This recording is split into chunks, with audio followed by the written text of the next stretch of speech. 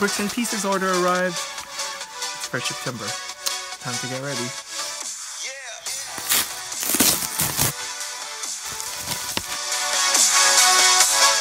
Let's see what I got. I love, I love Bricks and Pieces orders. All right, first bag.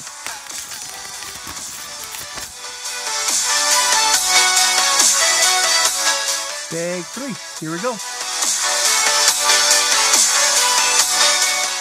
Bag number five. Here we go. Here we go. Here we go.